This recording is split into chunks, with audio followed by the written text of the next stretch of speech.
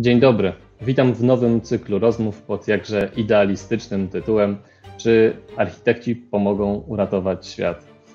Bartek Paturej, zapraszam na rozmowę w ramach projektu Enter.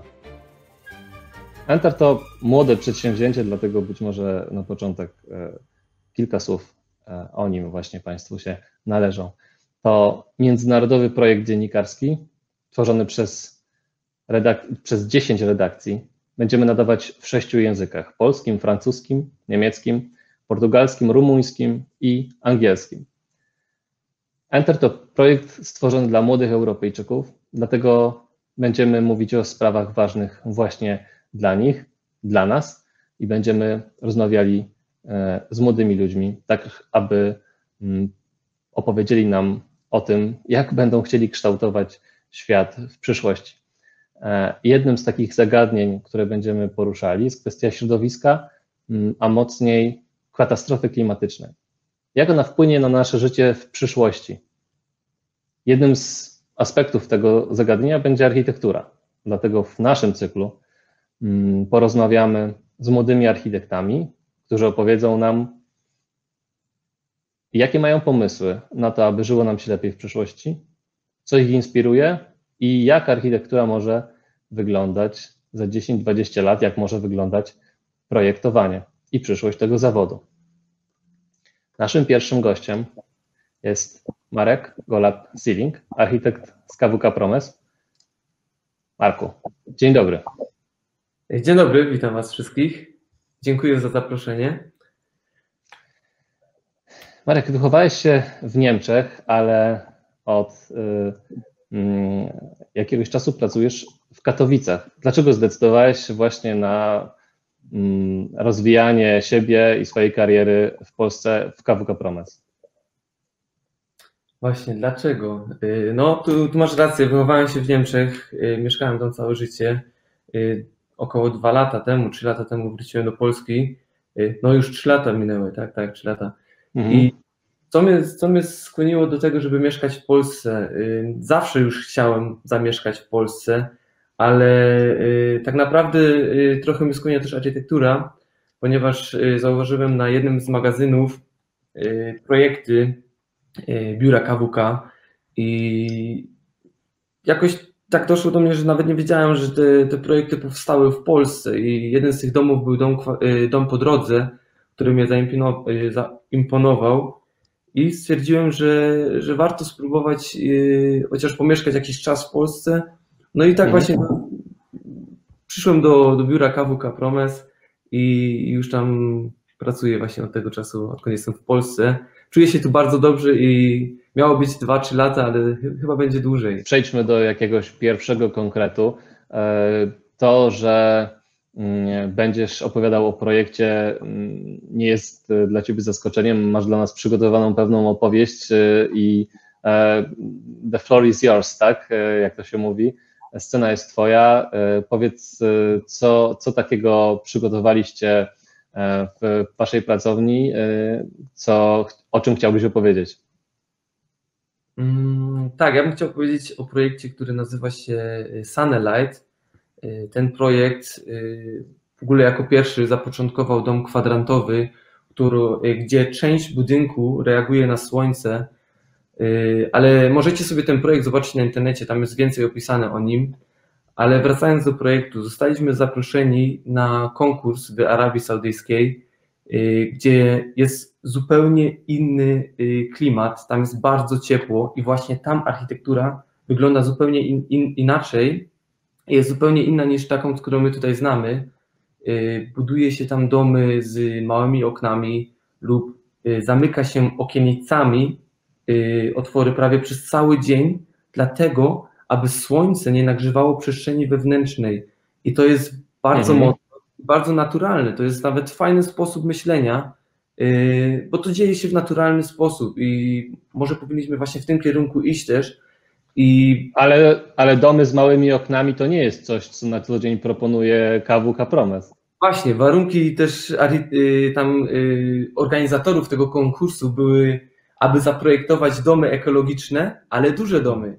Ale y, i to nam w ogóle tak trochę pomieszało w głowie. Duży dom ekologiczny, czy to. Nie, da się tak zaprojektować. No, no więc cóż, uznaliśmy, że potraktujemy to jako trochę taki jaki eksperyment i wpadliśmy na pewien pomysł. Co by było, gdyby mobilne zadaszenie podążało jak wskazówka zegarka za, słońc, za ruchem słońca i rzucało cień na bryłę mieszkaniową.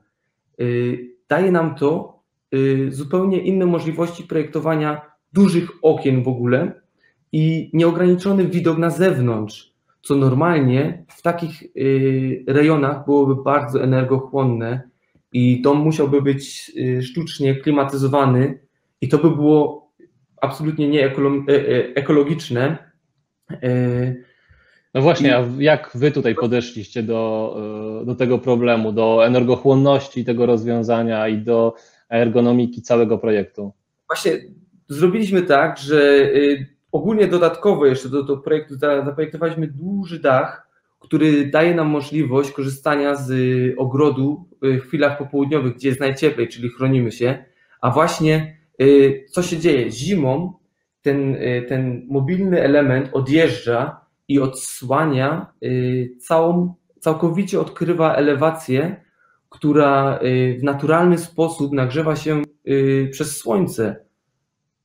Czyli I... korzystamy po prostu ze słońca i y, dostęp, mm, korzystamy jednocześnie ze słońca, a z drugiej strony z dostępnych możliwości technologicznych, które e, pozwalają nam sterować niejako tą e, tak. naturalną energią. Tak, dokładnie. Y, oczywiście na, na tym ruchomym dachu zaprojektowaliśmy kolektory słoneczne, które y, produkują energię i razem z dachem podążają za tym słońcem, co jeszcze jeszcze bardziej wykorzystuje y, tą energię słoneczną. I nawet y, pomyśleliśmy tak, że jeśli byśmy mieli takie skupisko takich domów, które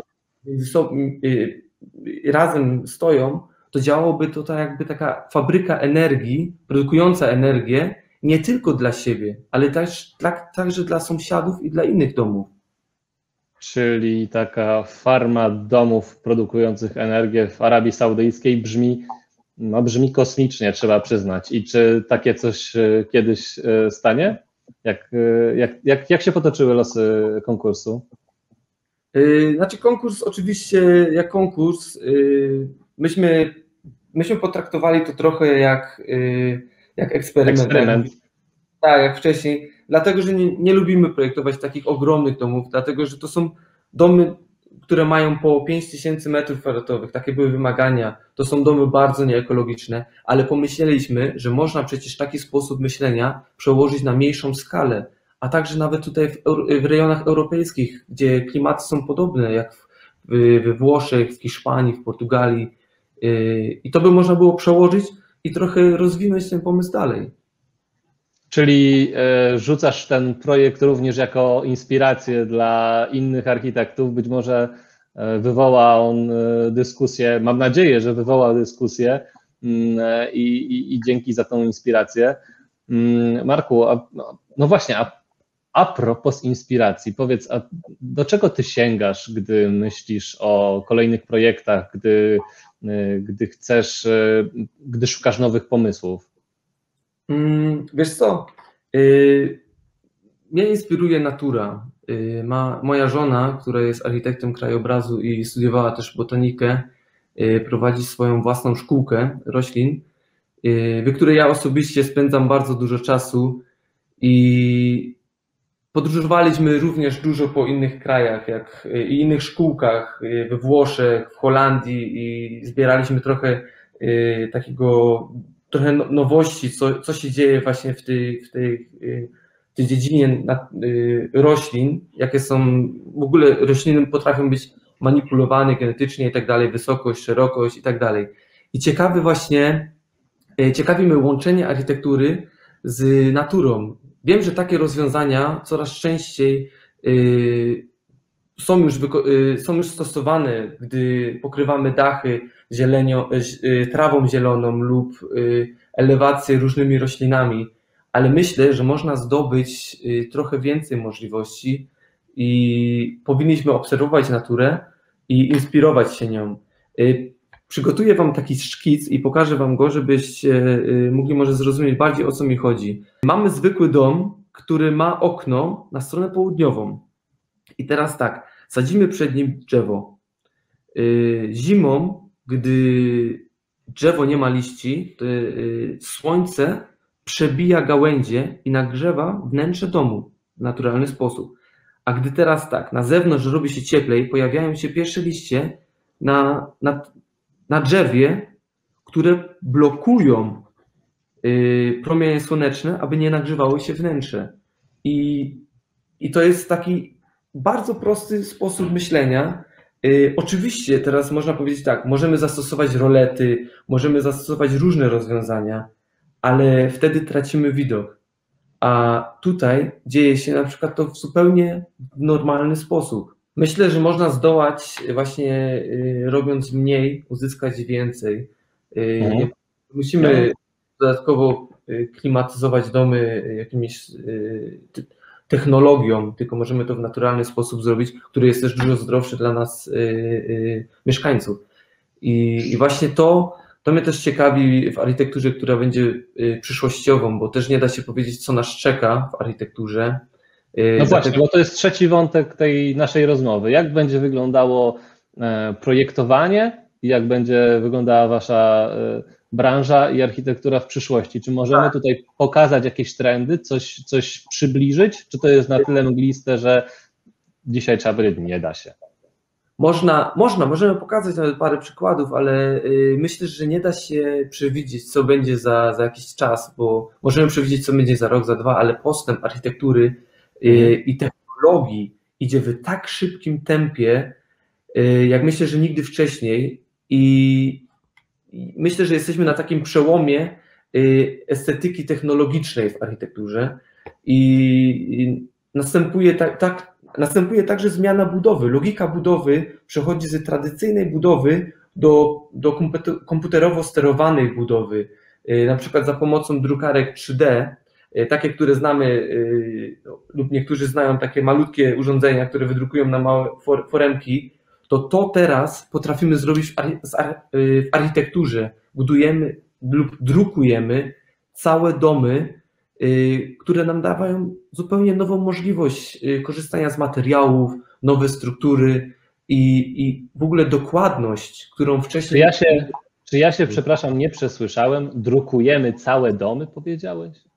Tak, oczywiście, drukujemy całe domy y, i, i to jest w ogóle coś takiego, że oczywiście to jest jeszcze taki etap, który jest jeszcze w próbie, ale już, już się udało wykonać że wydrukowaliśmy kilka domów. Yy, mówisz o branży, nie mówisz o, o waszej firmie, mówisz o, o branży. O branży, o branży, że branża już potrafiła to zrobić, więc yy, postęp idzie bardzo szybko. Yy, to, co było jeszcze dwa lata temu, albo nawet pięć lat temu, drukarki 3D weszły i były takie wow, to to już przełożyliśmy na architekturę. I myślę, że to skoro w ciągu pięciu lat to tak szybko przeszło, to pójdzie to nawet i szybciej. Oczywiście do tego jeszcze dochodzi y, y, architektura parametryczna. To jest taka architektura, która jest, y, powiedzmy, wychodzi z przeliczeń komputerowych. I można sobie to wyobrazić tak, że wbijamy do komputera różne rzędne i wychodzi nam forma, którą wcześniej musieliśmy rysować ręcznie i przeliczać ręcznie. Oczywiście, tak jak ja to mówię, to jest bardzo proste, ale to jest bardzo skomplikowany taki etap, Y, który trzeba dokonać, ale y, daje nam to y, duże możliwości i powiedziałbym nawet, że nie rozmawiamy wtedy o projektowaniu budynków, tylko bardziej o programowaniu budynków. Tak jak w Programowanie budynków. Programowanie budynków to brzmi rzeczywiście przyszłościowo. Tak. No będziemy jeszcze, mam nadzieję, te wątki, które dziś mm, delikatnie tylko naszkicowaliśmy, mm, rozwijać. E, zapraszam też Państwa e, do dyskusji i do mm, przesyłania swoich inspiracji i pomysłów e, na to, jak w przyszłości może wyglądać nasz świat, ale na to też, jak mogą wyglądać odcinki naszych, naszego programu pod, podkreślam, idealistycznym tytułem, czy architekci pomogą uratować świat. E, naszym pierwszym gościem był Marek Golab, Seeding z KWK Promes katowickiej pracowni Roberta Koniecznego. Marek, bardzo Ci dziękuję za, za udział w tej dyskusji. Dziękuję również bardzo. Pozdrawiam wszystkich. I dziękuję serdecznie Wam, drodzy widzowie, za obecność. Do zobaczenia.